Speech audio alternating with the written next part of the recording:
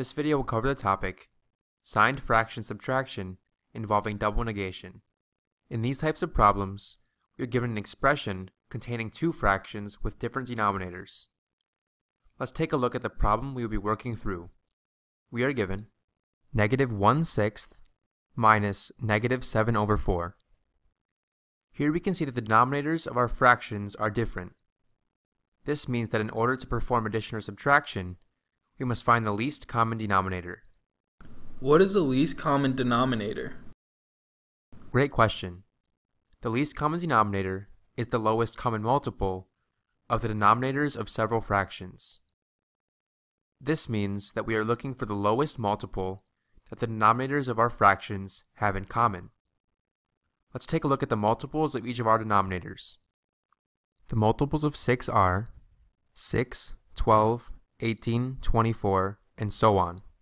The multiples of 4 are 4, 8, 12, 16, and so on.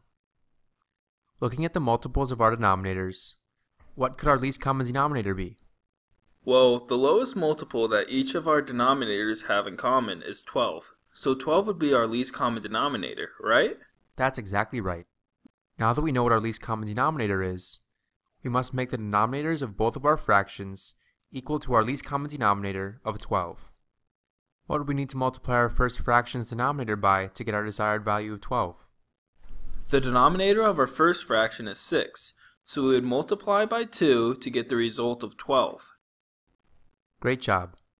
We cannot simply multiply the denominator by 2, however, as this would change the value of our expression. Instead, so that we are not changing the value of the expression, we must multiply by 2 over 2, which is equal to 1. Because any number times 1 is unchanged, we are not changing the value of our expression. 2 over 2 times negative 1 over 6 is equal to negative 2 over 12. In the same way, we must also multiply the denominator of our second fraction to equal 12. The denominator of our second fraction is 4, so we must multiply by 3 over 3.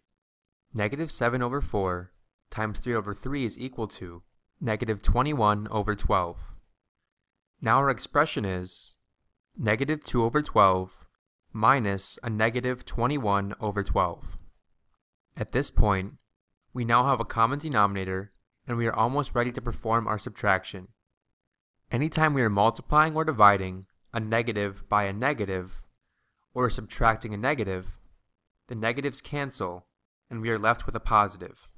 Given this information, is there any spot where we can cancel some negative signs? In the second half of our expression, we are subtracting negative 21 over 12. Could we cancel here? Yes. Subtracting a negative is the same as adding a positive, so we can rewrite our expression as negative 2 over 12 plus a positive 21 over 12. Now all that is left is a little bit of addition. A negative 2 over 12 plus a positive 21 over 12 is equal to 19 over 12. This means that our final answer is 19 over 12. Okay, so in order to perform signed fraction subtraction, I must begin by finding the least common denominator. Once I know the least common denominator is, I must multiply both fractions by a fraction equal to 1 to obtain the common denominator.